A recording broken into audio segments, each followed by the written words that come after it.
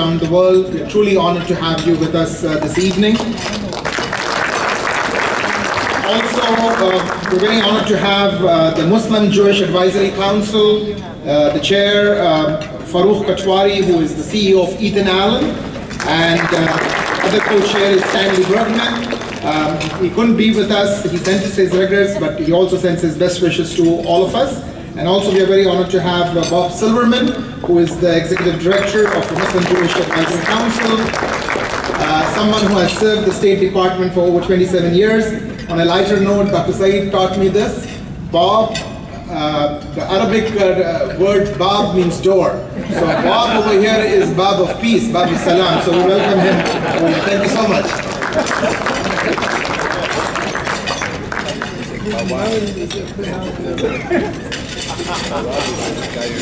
And my, my dear colleague at the chaplain's table reminded me that the chaplains that are out here are representative of not just the military, but also their chaplaincy across other institutions across the country, including hospitals and universities and other locations. So we, we thank you once again for your presence. Ladies and gentlemen, we have a tight program, so bear with me. We are going to go ahead and begin. It's 6.15, and I have already, just for the benefit of everybody here, apologized to the speakers in advance for running a tight ship, hopefully. So if any of my actions appear a little bit rude, all of you can be assured I have tendered my apologies in advance. uh, uh now we move on to a part of the program that should be quite informative. The gentleman that I'm going to be inviting to the stage, Dr. John Andrew Morrow, he's a Quebecois, born in Montreal, and a North American native by ancestry, culture, history, language, and identity, as he puts it. And as he also puts it in writing, says Dr. Morrow is an aboriginal inhabitant of the Americas, according to Section 35 of the Canadian Constitution, and is recognized as an Indian by the Federal Court of Canada. After completing his uh, honors, uh, the bachelor's, master's, and PhD at the University of Toronto, where he acquired expertise in Hispanic, Native, and Islamic studies, he pursued postgraduate studies in Arabic in Morocco and the United States. Dr. Morrow has also completed the full cycle of traditional Islamic seminary studies and holds the official titles of Ustad, Doctor, Hakim, and Shaykh.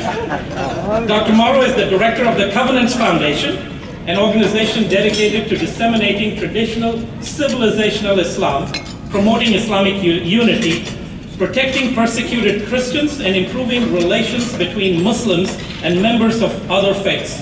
His work on the prophetic covenants is fascinating, and I find it indispensable in my own interfaith pursuits. Ladies and gentlemen, please welcome Dr. John Andrew Morrow.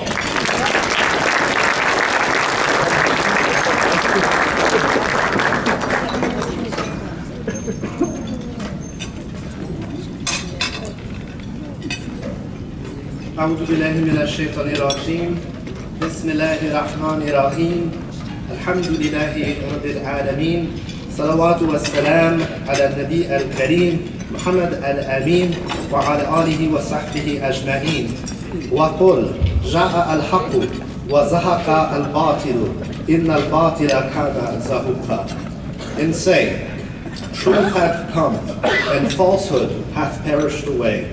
Lo, falsehood is ever bound to vanish. I begin with words and thanks of gratitude to Almighty Allah, glorified and exalted be He, to the Messenger of Allah, peace and blessings be upon him, to Sidi Karim Irfan, to President Azhar Aziz, to Dr. Muhammad As-Sanusi, uh, to Catherine Osborne, to Sidi Farooq uh, Kathwari, uh, to all of the bishops, uh, to Imam Anwar, to Bishop Eden, and to Dr. Syed Syeed, and to all our friends and supporters for the amazing work that they have done and continue to do in the path of humanity and the divinity. Congratulations to you all for your accomplishments. A round of applause, please.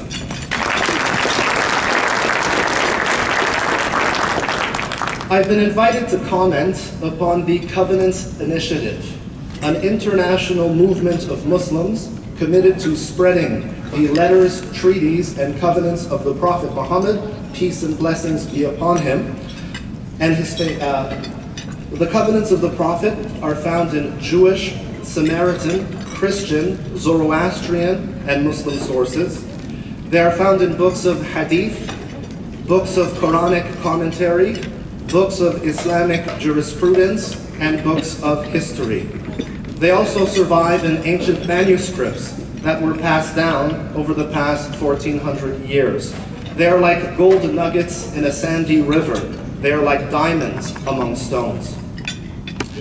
The first scholar to compile the letters, treaties, and covenants of the Prophet into a single source was Muhammad Hamidullah in Majmua al-Watha'iq al-Siyasiyya fil Ahad al-Nabawi. The second scholar to study these documents in detail was Ahmadi Miyanji in his Makatib al-Rasul.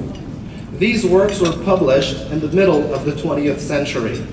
They were familiar to some scholars and specialists. However, most were unfamiliar with them, and virtually no lay Muslim has had heard of them. It was only with the publication of the covenants of the Prophet Muhammad with the Christians of the world in 2013 that knowledge of the letters, treaties, and covenants of the Messenger of Allah, peace and blessings be upon him, truly became widespread throughout the world. Thanks to the Covenants Initiative and all its partners, the foremost of which is ISNA, the covenants of the Prophet Muhammad with the people of the book came out of scholarly obscurity and have now become a powerful global force with serious socio-political and spiritual consequences.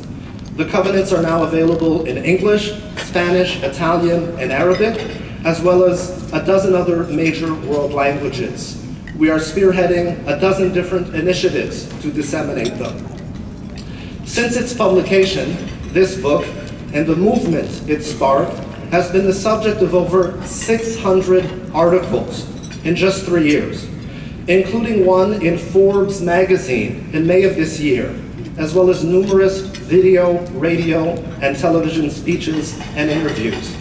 The Covenants Initiative has been signed by prominent Muslim scholars and leaders from many parts of the world, including influential figures from Al-Azhar University. The Covenants of the Prophet with the Christians of the world has been featured on the website of Ayatollah Khamenei, the leader of Iran, and garnered support from Francis, Pope of Rome, Bartholomew, the Eastern Orthodox Ecumenical Patriarch, Theophilos III, Patriarch of Jerusalem, the Holy Fathers from Mount Sinai and Simonopetras in Greece, along with many other religious leaders, both Muslim and Christian.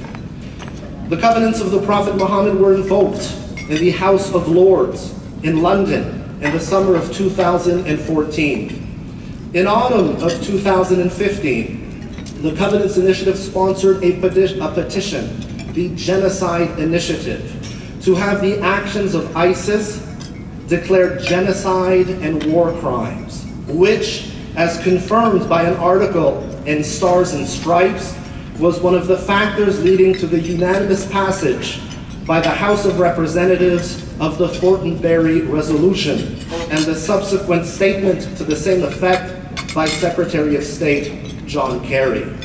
The covenants of the Prophet, which includes the covenant of Medina, were factors that contributed to the Marrakesh Declaration in January of 2016, reaffirming the traditional rights of religious minorities in the Muslim land. They're being used by Muslim and non-Muslim groups across planet Earth for interfaith work and counter-radicalization.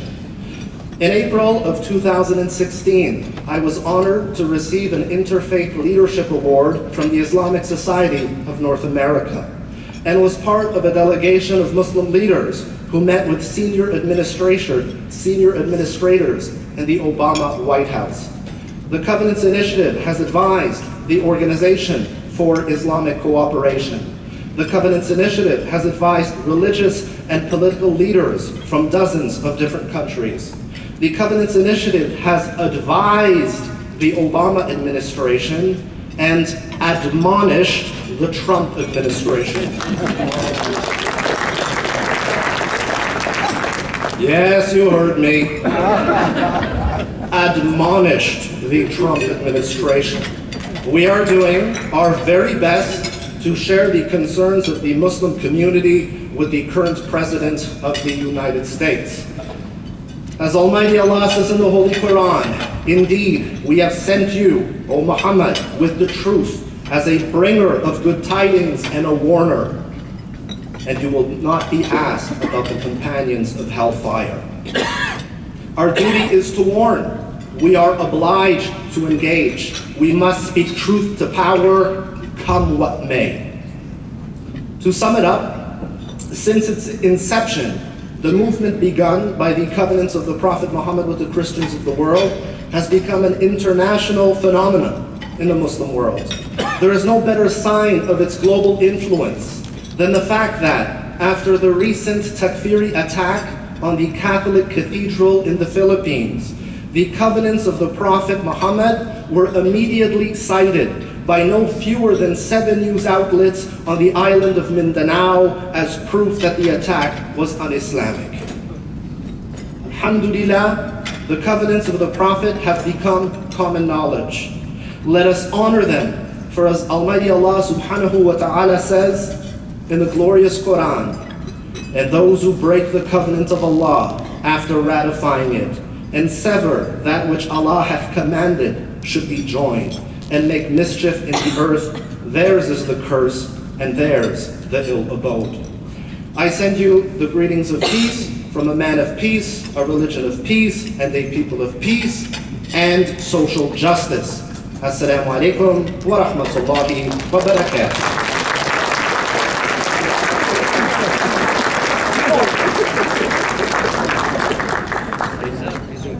Ladies and gentlemen, since Dr. Morrow was kind enough to leave a minute of his assigned schedule, allow me to take half that minute to unabashedly promote his book. I did so at an interfaith panel I was privileged to moderate on Friday. This is a, a book that I have definitely indicated to my uh, fellow Muslims that no Muslim library can afford to be without this. And I dare say that many of our interfaith friends may find it useful too. It's uh, up on Amazon, and a total disclaimer, I get no share of the benefits from the sale of the book, except for the du'as of uh, Dr. Morrow perhaps, but it's a fantastic book and you really should all have it. Uh, moving on with our program, the next gentleman I'm going to invite to the stage, he's director of the Secretariat of the Network for Religious and Traditional Peacemakers at their Washington, D.C. office which is part of the impressive global operations of Finn Church Aid. Dr. Muhammad Al-Sanusi, he previously served as Director of Community Outreach and Interfaith Relations at ISNA. Born into a Sudanese family, Dr. Sanusi has a bachelor's degree in Sharia and law from Pakistan. Interestingly, he financed his studies there by purchasing Pakistani fabrics and selling them on to Qatar that would have really been tough under the current blockade, Dr. Sanusi. Uh, he, uh, Dr. Sanusi is also the founding co-chair of Shoulder to Shoulder. He serves on the board of directors and advisors uh, uh, uh for numerous interfaith organizations, including the advisory board of the Louis Finkelstein Institute and the Milstein Center for Interreligious Dialogue at the Jewish Theological Seminary in New York City. A dear personal friend, Mr. Muhammad is rightly promoted by his current employer as, on this website, you look it up, they say, a rare gem is working for Finn Church Aid in peace work. Welcome this rare gem to the.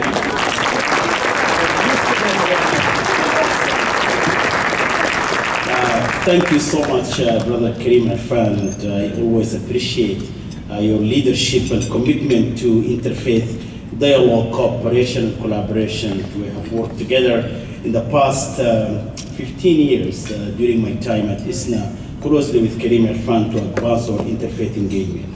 Uh, but this afternoon, I want to really welcome all of you and greet you by the greeting of peace. Assalamu alaikum and peace be unto you all. Um, you know, Dr. Morrow actually set the stage very well for me uh, to talk to you about the Marrakesh Declaration, uh, a declaration that is um, adopted in January of 2016, and uh, a declaration that I see as a product of our own American Muslim community's interfaith engagement and, and partnership and collaboration and the strategic visions uh, for people like Dr. Syeed and ISNA leadership to have that interreligious engagement. And as a product of that interreligious engagement, we see today uh, the people of other faiths standing with American Muslims to uphold American values, whether through shoulder to shoulder that has been mentioned and then now becoming known, or the national campaign against torture that the Muslim played a major role, and we are honored to have the executive director here as well. But these interfaith engagement help us as an American Muslim community when we see our interfaith partners standing with us, now we see there is a duty and obligation on us. Also, we cannot allow any persecution for religious minorities in the Muslim majority communities. That is the premise actually engage and, and, and, and, and, help us under the leadership with Imam Majid, who was ISNA president at the time, to talk to the Muslim world and to leaders of the Muslim, Muslim world um, to discuss what we can do, what we can do to bring up standards and protocol, to bring up the practice of Prophet Muhammad, peace be upon him, in Medina 1400 years ago. The covenant was just mentioned, but there was a Medina Charter as well. That effort, we talked to the Muslim world leadership, to the scholars, and we worked closely with them. And we built a road to Marrakesh Declaration, a road that began in Mauritania, engaging Sheikh Abdullah bin Bayya to host the first of its kind meeting with a small number of scholars with the Minister of Islamic Affairs from North Africa to raise questions about the rights of religious minorities in the Muslim majority communities. Those questions were answered in Tunisia with 50 scholars as well. Imam Majid and I and Dr. Ingrid Mattson and others were there, were there to discuss and answer those questions. Our engagement on religious freedom at that time in Tunisia were at the time when Tunisia actually going through discussing their own constitutions, we were able to influence the parliament, transitional parliament at that time. Today, the entire globe celebrating uh, Tunisia constitution because it's actually adopted the religious freedom for everyone. But that efforts continue until we had the big meeting in Marrakesh. The King of Morocco accepted to host the meeting. We had about 250 Muslim scholars and more than uh, you know, 35 Minister of Education and Islamic Affairs from the OIC countries to come to Marrakesh and came with the Marrakesh declarations. Some of you in this room, actually from our own interfaith communities, were there to witness, to witness the efforts. Uh, Dr. Jim Winkler is here as the head of the National Council of Churches, was in Marrakesh with us. And uh, the picture you see there, these are the interfaith communities attending and meeting with Sheikh Abdullah bin Bayy after the adoption of the declaration to discuss one question.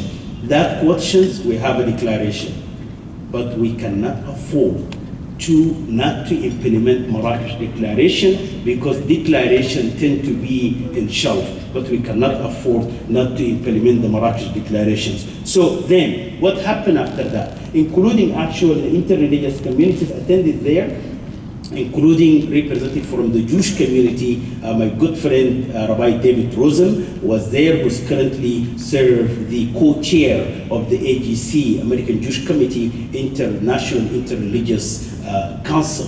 So he was there as well, and 50 others as well. But since the declaration was adopted and recognized by a number of people, when we were meeting in Marrakesh, President Obama from the White House in that January 25th, 2016, said, visiting the Israeli embassy in Washington, making a statement, and in that statement said, as we speak today here in Washington, Muslim scholars gathered in Marrakesh to protect the right of religious minorities in the Muslim majority communities. That is the recognition we have seen. Since, since that, that time, we saw also the United Nations recognized the declaration the organizations of security cooperation in Europe recognized the declaration, and the OIC, the Organization of Islamic Cooperation, in their president, presidential meeting in Istanbul, they added to their declaration clear endorsement to the Marrakesh Declaration. So the implementations move forward after all of this rec recognition. The first meeting we had for implementation was uh, the Prime Minister of Japan, and this is uh, interesting uh, actually he wanted to do an interfaith and interreligious. So he asked religions for, for peace, a number of you familiar with, to have meeting in Tokyo to discuss Marrakesh Declaration between Sunni scholars and Shia scholars. And we had that meeting just before the G7 summit in May uh, of, of last year.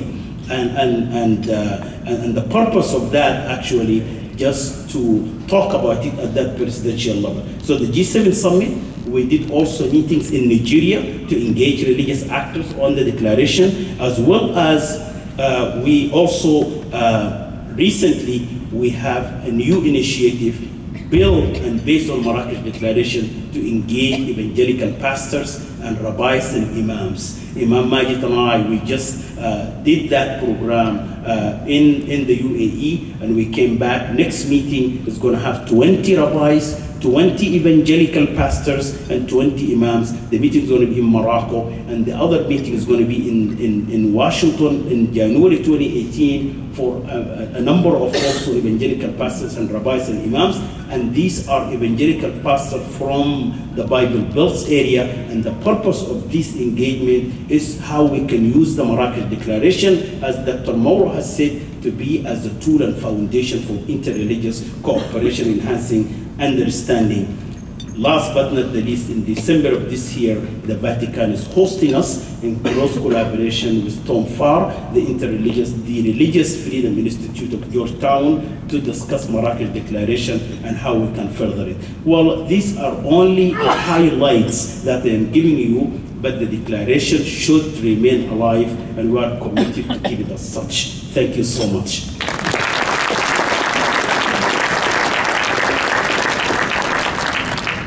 Having covered the Muslim legacy of productive social engagement, my dear friends, we now move on to the nurturing of faithful partnerships. The next speaker that I would like to invite is the campaign director of Shoulder to Shoulder, a national campaign of religious and interfaith organizations dedicated to ending anti-Muslim bigotry in the United States and around the world.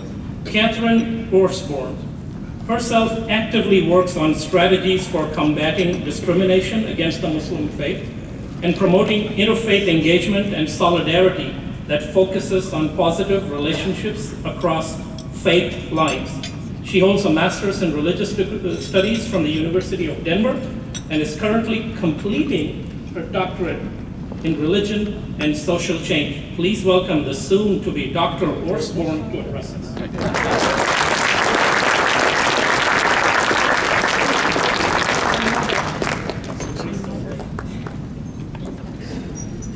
Thank you so much. It's an honor to be here tonight and um, want to thank ISNA for um, inviting us to be here and and for really nurturing and helping to create shoulder to shoulder over the years and, and supporting our work. Uh, we are really indebted to ISNA's support over time and um, we're really grateful to be part of this, this community. Um, and want to also thank the number of shoulder to shoulder leaders who are here in the room um, who have served with us in, in various capacities. We have a number of those folks in the room tonight, and um, really this is a collective effort that would not exist without the leaders in this room, so thank you. Um, and especially want to thank Dr. Syeed, um, who has been a source of so much work and inspiration that we're hearing about tonight, and um, it's a pleasure to be part of honoring you. So Shoulder to Shoulder was formed in 2010 as a multi-faith response to increasing anti-Muslim sentiment in the US. The message at that time, as it remains, is that an attack on one faith community is an attack on all. Our coalition has grown over the last seven years, starting with 20 national member denominations and organizations, and today we have 35 member institutions at the national level and close to 50 local partners um, working in their own communities across the U.S. in various ways. Our members speak from their own religious teachings and traditions when they say that this sort of fear-mongering rhetoric and discriminatory policy is not reflective of the values of any of our faith traditions. And they also speak as Americans in saying that we all rely upon and therefore must preserve and further the ideals of religious freedom and equality for all people. Um, so our work is both internal and external. Internally, we work with our members to educate and equip their own clergy, lay leaders, and constituencies on this issue and how it connects to other issues we're dealing with in our country. Um, we do this through trainings, resource development, and the like. And externally, we combine our voices and efforts in a variety of ways in the public square to say unequivocally that anti-Muslim discrimination is not okay in whatever form it comes. We work in coalition with our Muslim and allied partners. That's a really important part of the way that we do our work. And over the past few years, we've worked to create nationwide opportunities for encounter, for deep engagement, and learning. We've engaged faith leaders in local challenges against anti-Sharia and anti-refugee legislation, especially over the past couple of years. And we've worked to push back against national discriminatory policies as well. Um, we've seen the power of our network when we've mobilized faith partners in different cities across the US in faithful response to anti-mosque rallies in 2010 and most recently in response to anti-Sharia marches last month. Um, and I want to note that beyond these more public expressions of solidarity, so much of the work on this issue um, within our network and beyond it happens in many quieter ways across the country um, through things like letters of support and smaller gestures of outreach that, um, that build over time and that people are able to build on in their own communities and, and in the small ways that don't necessarily make it to the newspaper headlines. Um, so while this year has been full of new realities um, and developments, and many um, are, are fear-inducing and alarming to many of us. Um, I've been heartened by the number of people that are reaching out to engage in this work. There are so many people across the U.S. who want to find ways to reach out and to stand in solidarity and to together create the country that we want, an America where we're all truly free. So while there's a lot of work ahead of us, we know that there are many hands and feet to do it, and I think that um, encompasses so many people in this room, and we're grateful to be part of this evening with you. Thank you.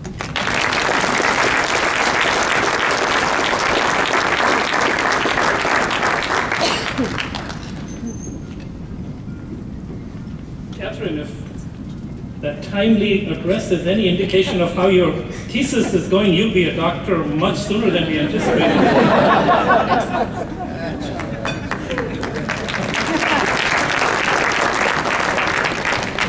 My colleagues in the business area and some in the interfaith area know of my passion for driving principled and ethically founded executive excellence in the business world. Hence, I'm particularly anxious to hear from our next speaker, a fellow business executive. Mr. Farooq Kathwari is the chairman, president, and CEO of Ethan Allen Interiors, now celebrating 20 years at the helm of Ethan Allen. Mr. Kathwari's leadership has transformed his company into a leading manufacturer and retailer of home furnishings in the U.S. since he took the company public in 1993. While I admire his singular achievements in the business world. Hats off to you, Mr. Kathwari.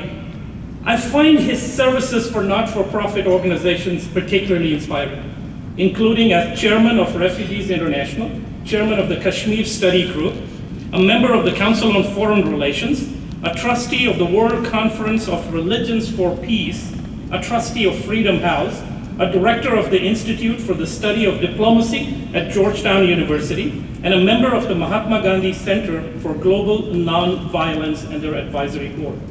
His recognitions include the Outstanding American by Choice Award by the US government, the EPIC Global Citizenship Award from Tufts University, the Eleanor Roosevelt Val Kill Medal, the International First Freedom Award from the Council for America's First Freedom, and the Anti-Defamation League's Humanitarian Award.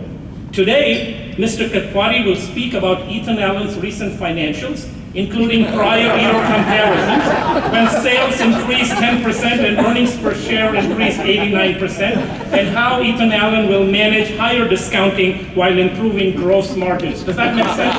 No, seriously, that was for his third quarter sales call. Tonight, Mr. Kathwari will cover important developments in promoting Muslim-Jewish relationships in the United States as part of the Jewish Muslim Advisory Council. Ladies and gentlemen, please welcome a CEO I admire tremendously and a great leader for the social cause, Mr. Farooq Kathwari.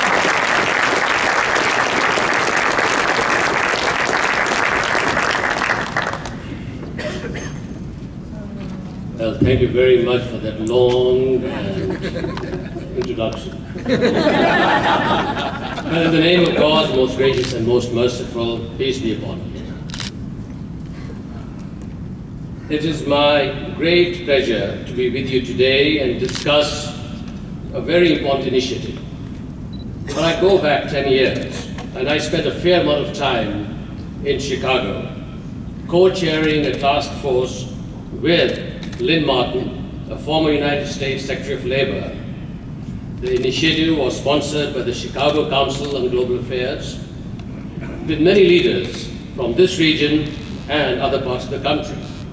The subject was strengthening America, the civic and political integration of Muslim Americans. Ten years later, the challenges remain, and in that context, thanks to the leadership of President Aziz Azhar and the National Director Dr. Sayyid Syeed, David Harris, CEO of AJC, and Robert Silverman, U.S. Director of Muslim Jewish Relations of the American Jewish Committee, a new partnership has been developed that will benefit both the American Muslim and the American Jewish communities and the entire country. While not an easy decision to join a very public undertaking while heading a well-known public company, doing business all over the country, I decided to join and help in shaping the debate as I see concern among many, but especially the young ones who are born and raised here and who strongly believe in strengthening America. I came to the US as a young student from the beautiful mountains of Kashmir to beautiful Brooklyn and discovered that America is a welcoming country where hard work and a little luck can help a person go far. This still holds, holds true. Last month, I had the opportunity to be one of the main speakers at the annual convention of the American Jewish Committee in Washington, D.C., where about 2,500 delegates attended from all over the world. And the launch of the American Muslim Jewish Advisory Council was discussed and warmly received. But I mentioned it over there that perhaps one of the reasons I was selected is because, and Dr. Syeed and one of, one of a few others will know this, that in the native language of Kashmir, the, the land is called Kashir, and the person coming from Kashir and the language of Kashir is called kosher. So I told him I'm more kosher than any of you.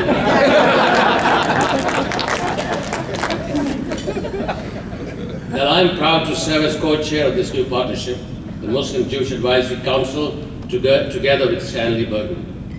We are both immigrants, as I said, to this country and CEOs of well-known public companies who have enjoyed the opportunities this great country provides.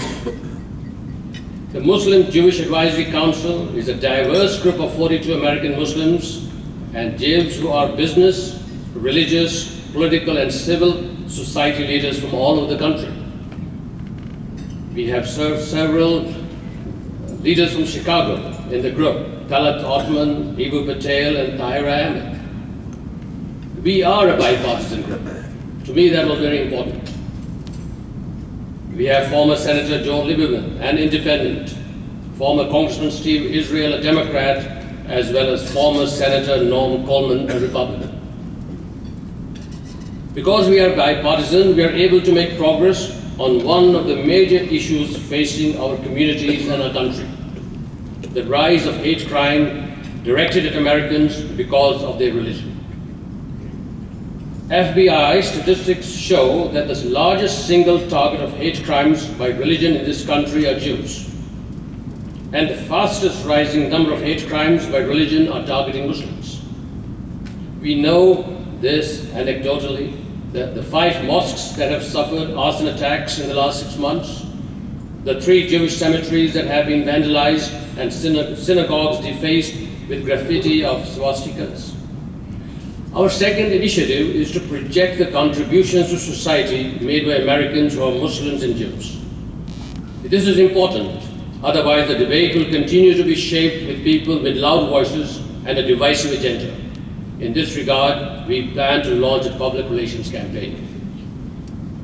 The Council is working with both Republicans and Democrats to pass a bill called the Protecting Religiously Affiliated Institutions Act of 2017 which will expand the federal protections for houses of worship and deepen the penalties for hate crimes against our institutions. If you would like more information on how to help us advocate for passing this bill, please see the Council's Director, Bob Silverman, who's here tonight. Bob, how about uh, raising your hand? Entering this partnership was not easy for many of us, but the right thing to do for our communities, our country, and our children. And now just a brief about Dr. Syeed. Now Dr. Syeed, I go long, for long, long, many years. In fact, he just told me that he was a professor in a college. I was in, in Kashmir, but he said you were never there because you're always playing cricket. that is true. we also served for many years on this organization Religions for Peace, and together went to many, many places. It really has been a great privilege first to know you for so many years and, the, and, the, and your service to the community and the country. And I'm very pleased and honored to be here with you today, this evening.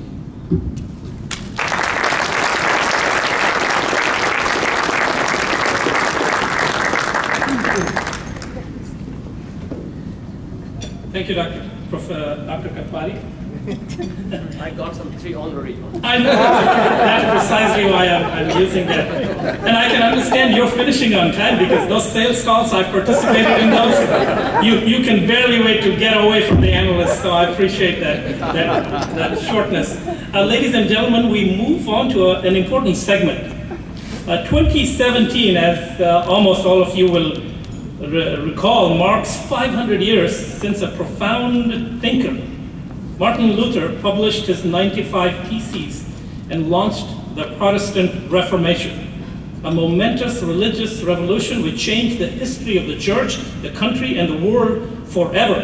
And part of those changes we are experiencing firsthand. Under the insightful leadership from thoughtful leaders like our own Dr. Syeed and the presiding Bishop uh, Elizabeth Eaton, ISNA has forged a visionary collaboration with the Evangelical Lutheran Church of America, which continues to yield remarkable progress in relationships and initiatives. I will request my ELCA Associate Kathryn Lohre to lead us through this segment. She is the Executive for Ecumenical and Interreligious Relations and Assistant to the Presiding Bishop at the ELCA. Ms. Lowry has a Master's of Divinity from Harvard Divinity School and previously served as President of the National Council of Churches the first Lutheran and the youngest woman at the time to serve in the position.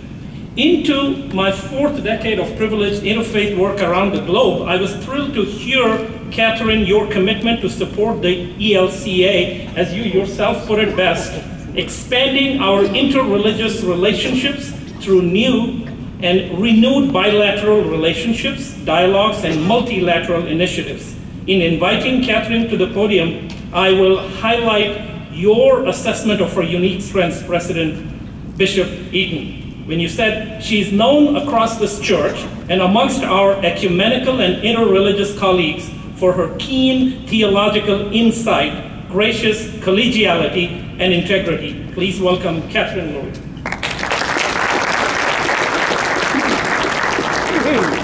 Good evening. Good evening. It is such a joy to be here. We've anticipated this weekend and this evening for so long, and I want to thank you, our partners at ISNA, and all of our interreligious partners present tonight uh, for engaging with us as we recommit to Lutheran-Muslim relations tonight. A year ago, um, as we were approaching the eve of this 500th anniversary, Dr. Syeed approached us with a really visionary proposal. And any of you who have been on the receiving end of that know just how enormous those proposals can be. And so we received that with joy, and we thought, what, what is it that we can do on this 500th anniversary year that would lift up a long-standing commitment that we have to Lutheran Muslim partnerships and pivot toward what we as Lutherans have been calling the ongoing Reformation. So as we look to the next 500 years, but really to the, the immediate um, concerns in our society, this is a central relationship for us. And we hope that we can share a bit of that with you tonight. Part of that proposal was the suggestion of finding ways to continue to engage, but especially on the ground in local communities through church-mosque partnerships and other forms of local dialogue and engagement. And we were excited about that, not only because we already had several things happening that we thought we could build upon, but we could see where some of the gaps were. And the first question that we asked of Dr. Syeed was, why just us as Lutherans? Why not do this broader? And he said, I, very clearly, you have the leaders who, are, who have the will to lead, you have the dialogue and engagement resources already prepared. Many of those scholars and activists who've prepared them are present with us tonight, and you are ready to go. And then we can pivot out from there. So tonight, what I want to do is invite three of our bishops representing three of our synods, um, West Coast, East Coast, and then we'll come back here to Chicago to share with you a bit of what is happening. First, I'll call upon Bishop Rick Jaech. He's representing the Southwestern Washington Synod in the Pacific Northwest.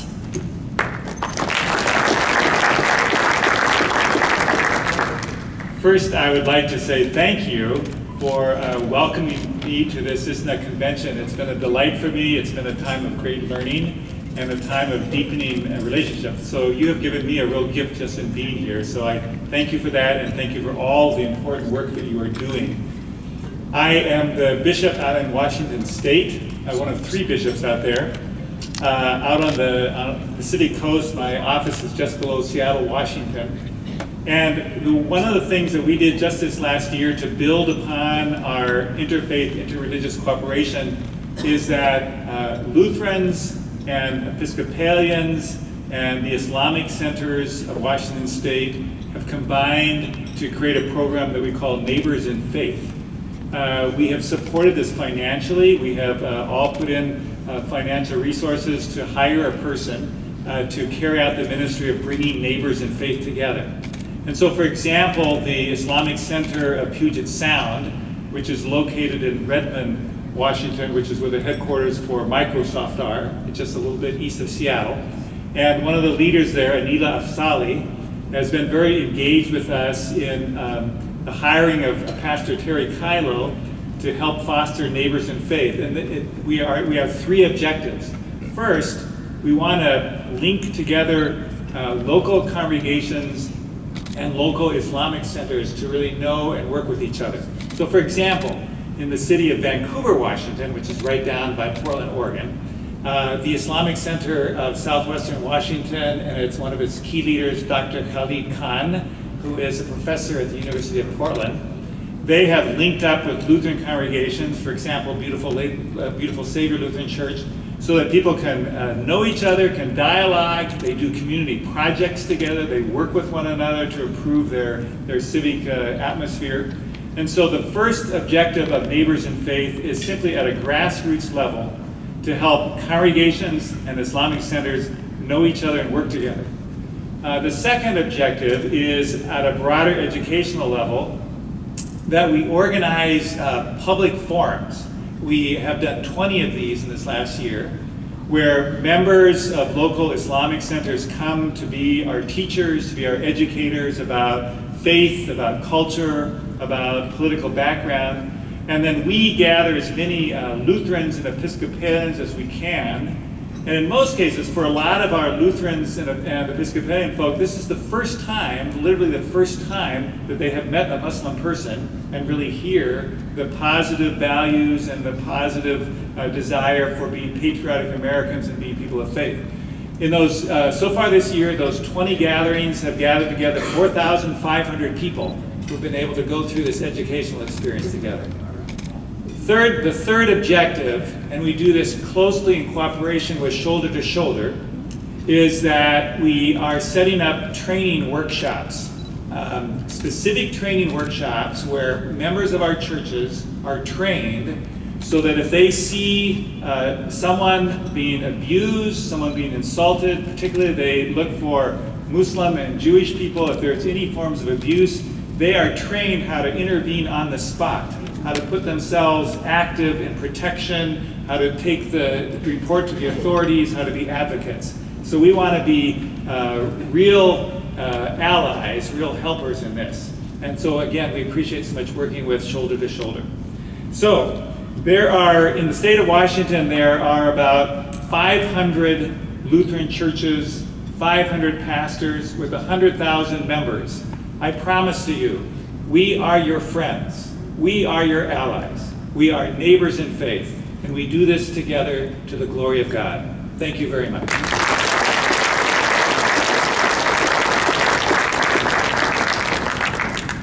We'll now take a quick flight across to Philadelphia, where we'll welcome Bishop Claire Burkat of our Southeastern Pennsylvania Synod and Imam Anwar Muhammad they are together the co-chairs of the Religious Leaders Council of Greater Philadelphia.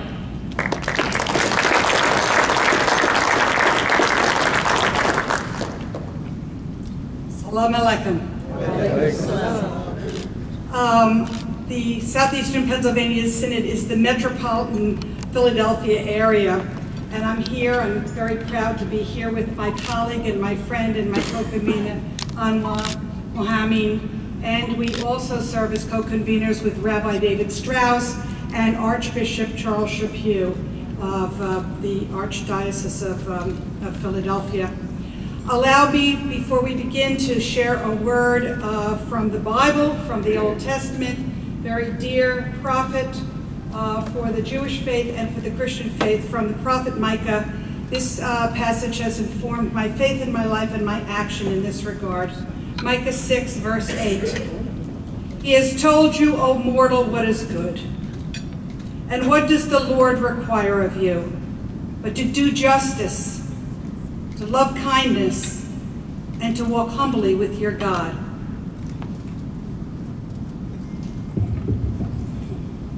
بسم الله الرحمن الرحيم شرع لكم من الدين ما وصى به نوحا والذي أوحينا إليك وما وصينا به إبراهيم وموسى وعيسى أن أقيموا الدين ولا تتفرقوا فيه As my colleague mentioned, I'm Anwar Muhammad, and I'm here with my dear friend Claire Burkat, representing the Religious Leaders Council of Greater Philadelphia.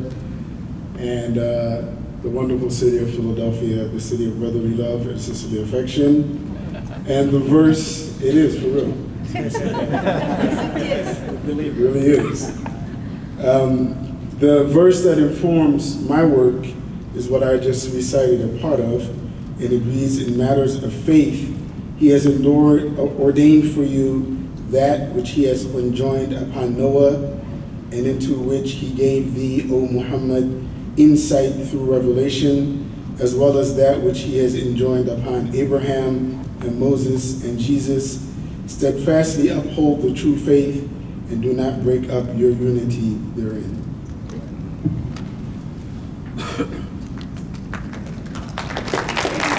All right.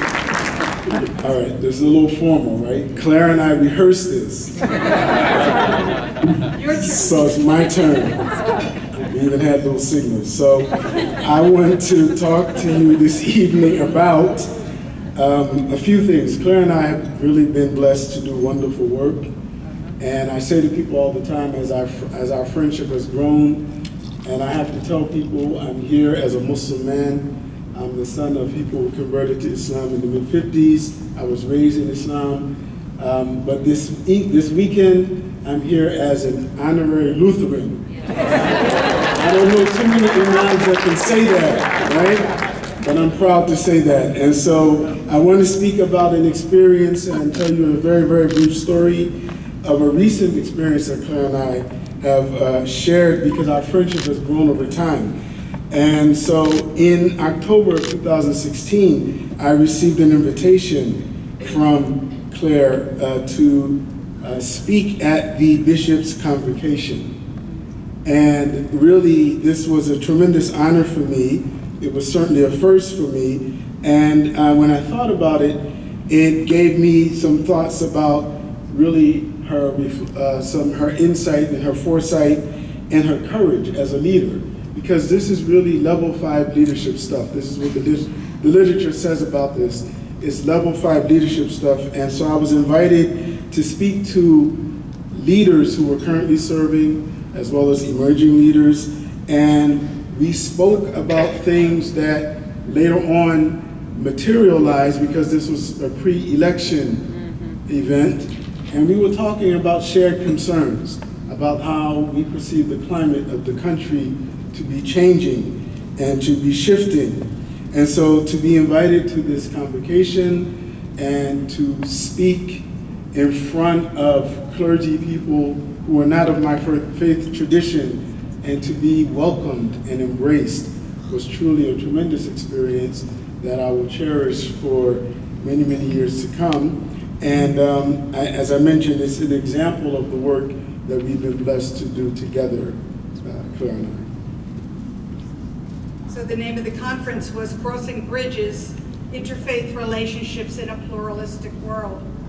So the day after the election, I called uh, Anwar and I called Rabbi David Strauss to offer my support and to assure them of our continuing support and protection from the Lutheran Church.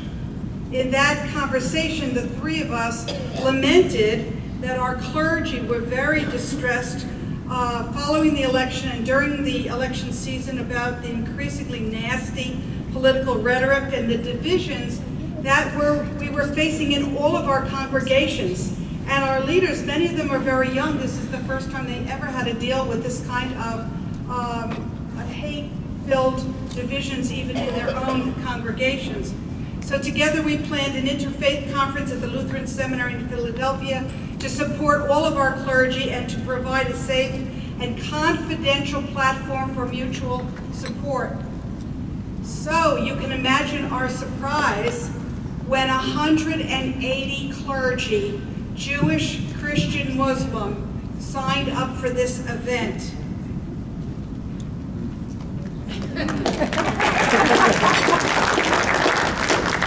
I'm a little slow, right? but so the event that Claire is speaking about, actually one of the highlights as well, is that in addition to the abundance of attendees, 180 people um, additionally, this event followed uh, first in the year 2015, there was the desecration of one of our uh, mosques in Philadelphia. Someone cut off a pig head and delivered it to the mosque and left it on the doorstep. And we were very uh, quickly able to mobilize a group of people who stood in solidarity and in rejection of this gesture of disrespect and hate.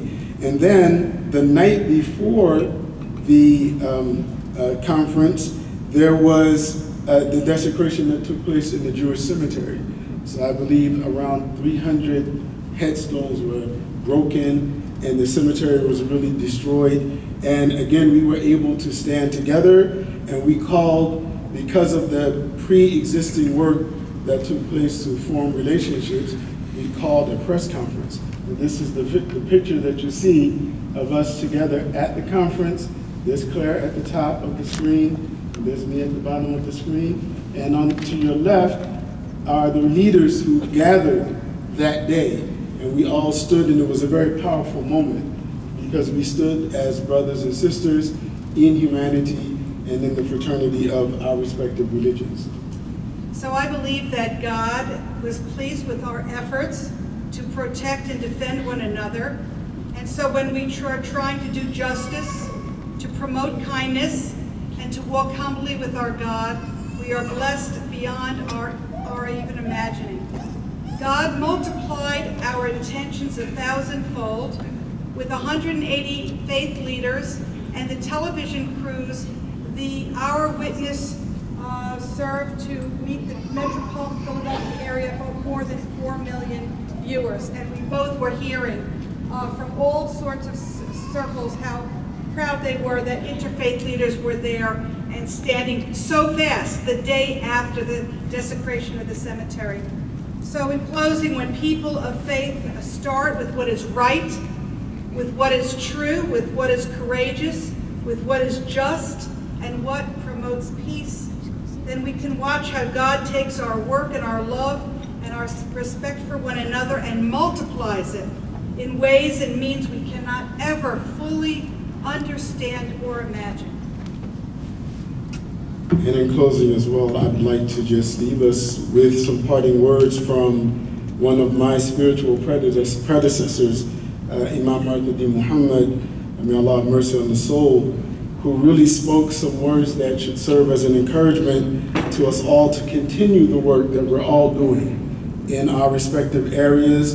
Geographically, we're all doing work that must be done. And the forging of relationships and the crossing of the bridges is a work of continuation. And so I leave you with the words of Imam Mu'tadin Muhammad who said um, that we are all one creation and our belief in the one creator unites us in spite of artificial divisions of race, color, and natural, natural origin. We are united by the most powerful bond of all, our common human origin. The real issues that concern us and affect our social and economic destiny and the destiny of our children's children are vital to, to all end and are more profound than any ideological differences that we may have.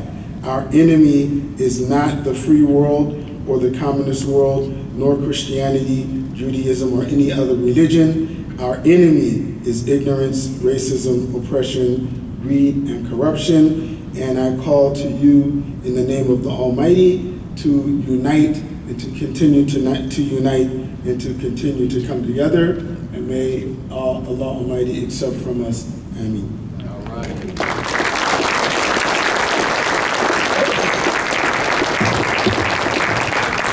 Now we will come back to Chicago. Last but not least, Bishop Wayne Miller of the Metropolitan Chicago Synod.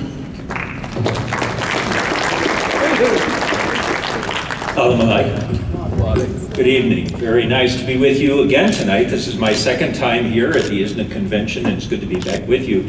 Actually, I come before you tonight in two roles at the same time, because in addition to being here as the Bishop of the Metropolitan Chicago Synod of the Evangelical Lutheran Church in America, I am also presently serving as President of the Council of Religious Leaders of Metropolitan Chicago. Many of those leaders are here with us this evening. Kareem Irfan is a former president of our organization, and um, it's important for me to mention that to you because I think that uh, Lutheran Muslim engagement on the territory of this Synod in northeastern Illinois really is happening simultaneously uh, in four areas of endeavor that are separate and yet interrelated. And the first of those has to do with the Council of Religious Leaders here. This is a very important group. It's a, it's a coalition, a fellowship really of some 40 leaders from 40 different religious organizations that meet regularly to foster friendship and cooperation, respect and mutual understanding, and also to engage in uh, activities that forward the uh, well-being of the entire metropolitan Chicago area. The second area, this is a, a, resource that is very distinctive to our territory, and that is the Center for Christian Muslim Engagement, which is housed at the Lutheran School of Theology at Chicago. Many of uh, the folks and leaders from the center are here as well.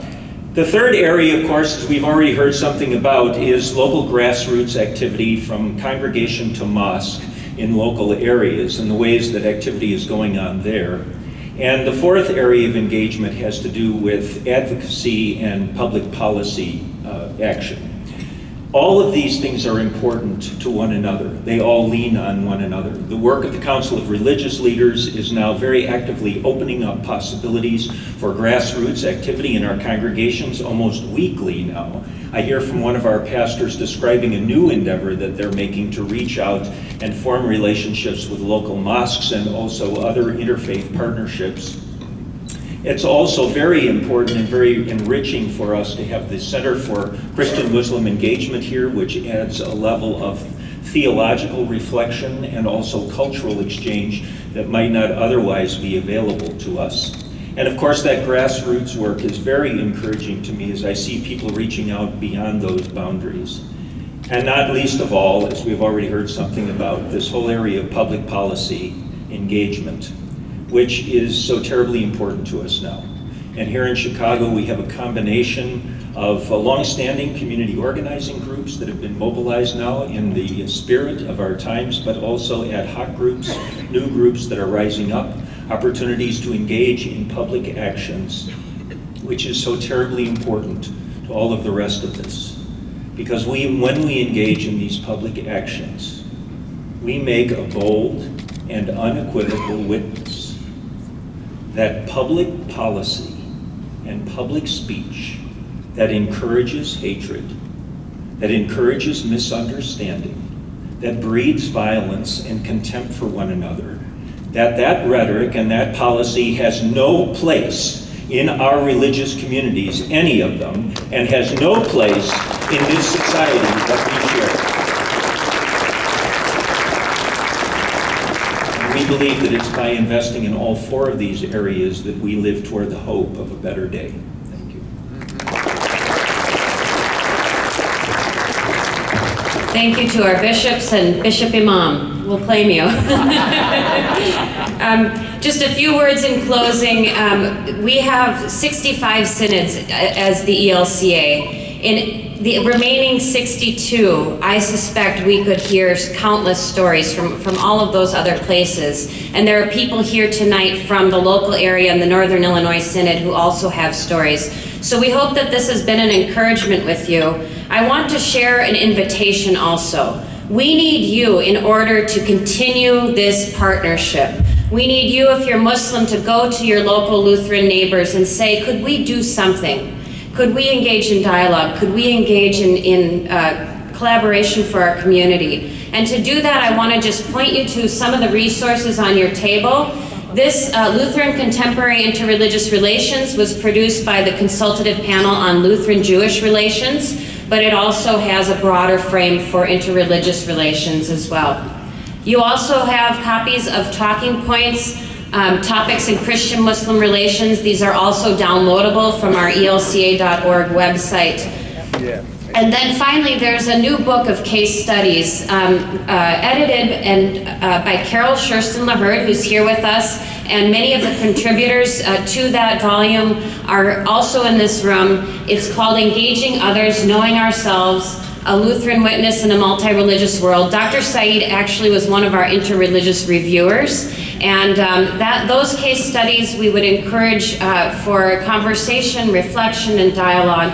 We have some copies of the book available tonight. If you would like one, please see Carol, she's back there, um, or you can also find them on Amazon.com. Finally, Dr. Syeed, we have caught the vision. We have caught your vision. We are, we are on this journey together.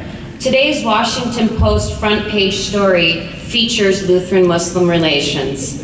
One of our pastor, our intern pastors in Boston, Minnesota, realized that her physician was, and his family were the only Muslims in this very small town in Minnesota. She reached out to him and said, would you be willing to lead a town hall conversation to share about Islam and to have some dialogue? This was a very difficult decision for him and his family, and you can read all about it here, and I would encourage us by this. And also, on July 13th, um, one of our Lutheran pastors in, uh, in Pennsylvania, in Wexford, Fred Schenker, who um, partnered with local Muslims uh, there as, as they were seeking to build their mosque and they needed a place for the Ummah to, um, to pray. And they opened up their doors at Trinity in Wexford.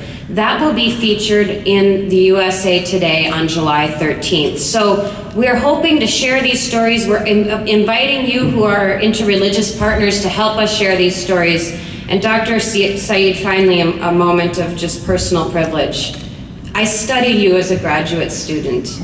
To have these years to work side by side with you through shoulder to shoulder during my presidency of the National Council of Churches and now with the ELCA is the privilege of a lifetime. And we will continue this work together and to honor your legacy. Thank you.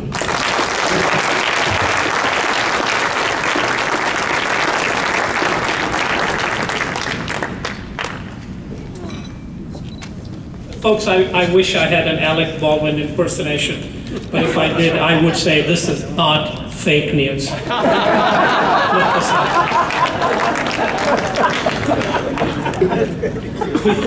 we, we move on to the exciting conclusion of tonight, the presentation of ISNA's Distinguished Interfaith Leadership Awards. Our first recipient is the Evangelical Lutheran Church of America's presiding bishop, Dr. Elizabeth A. Eaton. Reverend Eaton serves as the fourth presiding bishop and the first woman to become presiding bishop. The ELCA is one of the largest Christian denominations in the US with approximately 4 million members in nearly 10,000 congregations across the US, Puerto Rico, and the US Virgin Islands. She also serves as the vice president of the North American region of the Lutheran World Federation, a global communion of 145 Lutheran churches representing over 74 million Christians in 98 countries. Based on my personal experience, especially with such wonderful leaders like my dear friend, Reverend Bishop uh, uh Wayne Miller,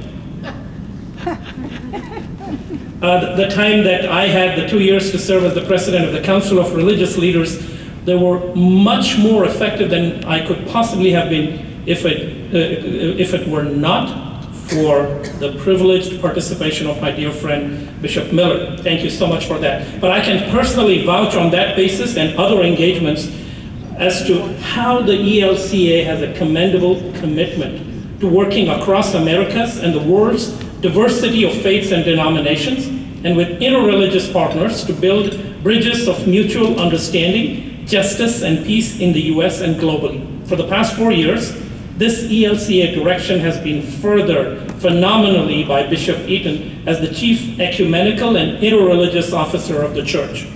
ISNA particularly appreciates how Bishop Eaton has given significant leadership to Lutheran Muslim relationships within the ELCA through the LWF with Muslim partners and through interfaith coalitions such as the Shoulder to Shoulder campaign. In 2014, Bishop Eaton attended the ISNA convention in Detroit. She engaged personally with Muslim partners. She also educated the ELCA about Muslims and it, on its long-standing partnership with ISNA and the church's commitments to addressing anti-Muslim bias. We appreciate that. In 2015, following the tragic violence in San Bernardino, Bishop Eaton boldly issued an open letter to the American Muslim community, writing, In our love for you, our Muslim neighbors, we are distressed by the ways in which you are being forced to bear the fears held by many in our nation.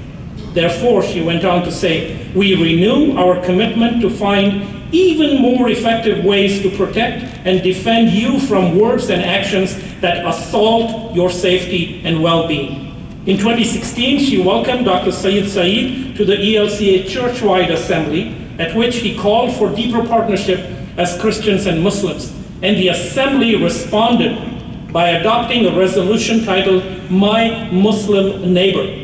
For folks outside the Lutheran community, just imagine the tremendous impact and import of that. This is a resolution adopted by the ELCA Churchwide Assembly with recommendations to commend the ELCA educational resources on Christian-Muslim uh, relations for use across this church, to encourage ELCA members to commit themselves to opposing, preventing, and eliminating Islamophobia, and to encourage ELCA leaders to engage in dialogue, friendship, and cooperative efforts with Muslim neighbors whenever possible. That's a profoundly impactful statement, and it bears our applause on your behalf, Dr.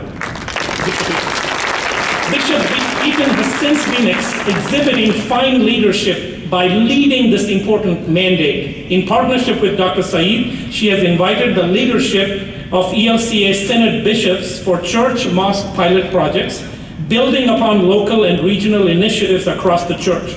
She has appointed an interreligious task force to develop an interreligious policy statement for the church, which will guide partnerships with Muslims and other neighbors into the future. This year, in 2017, the global commemoration of the 500th anniversary of the Reformation, Bishop Eaton has been elected to serve as the Vice President, we are, of the North American region of the Lutheran World Federation. In this capacity, she will be a forceful ambassador for and interpreter of the LWF's significant leadership in Lutheran Muslim relations on a global scale. Tonight, my dear friends, we recognize a lifetime of leading by action in furtherance of interreligious understanding and building bridges of mutual understanding, justice, and peace by conferring ISNA's Interfaith Leadership Award upon the Bishop Elizabeth A. Eaton. Kindly join me in welcoming Bishop Eaton with a round of applause. And we, we have a commemorative video that will highlight your efforts as we welcome Bishop Eaton to Elected as the fourth presiding bishop at the 2013 Evangelical Lutheran Church in America's Churchwide Assembly, the Reverend Elizabeth Eaton earned a Master of Divinity degree from Harvard Divinity School and a Bachelor of Music Education from the College of Wooster. Ordained in 1981, Reverend Eaton served three different congregations in Ohio as assistant pastor, interim pastor, and pastor before being elected bishop of the ELCA Northeastern Ohio Synod in 2006 and re-elected in May 2013. Reverend Eaton also represents the ELCA in a wide range of ecumenical and interfaith settings.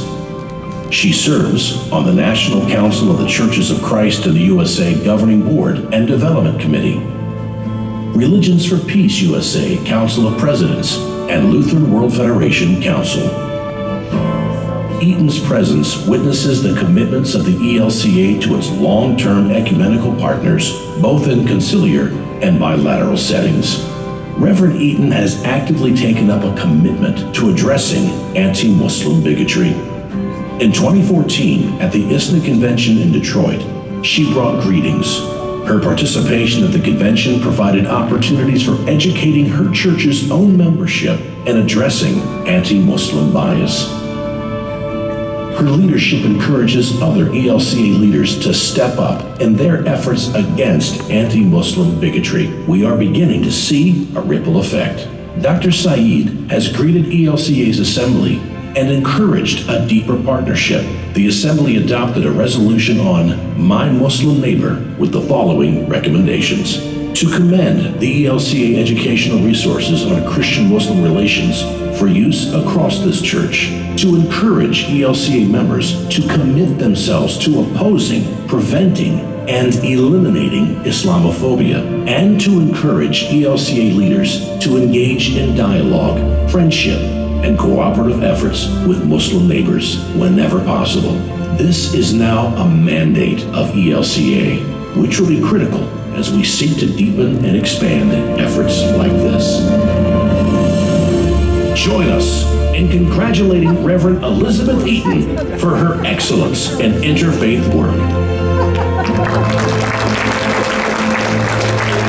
Ladies and gentlemen, I invite the President, Azeez, to hand over the award and one towering personality deserves another towering personality. So we do have Dr. Syeed to read out what's on the award too. So if you could present it, and Dr. Syeed, if you, if you could read it out. And we have joining us on stage also Dr. Shakir Moiduddin, who's the past uh, chairman of the Interfaith Committee of the Council, and this marks 25 years of his work. And he says he's retiring, but we won't let him go away.